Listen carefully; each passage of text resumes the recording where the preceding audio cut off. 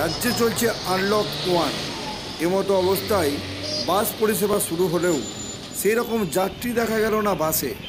তাই হতাশ private bus মালিকেরা। চলুন সে দৃশ্য দেখে নেওয়া যাক সব খবরের পর্দায়।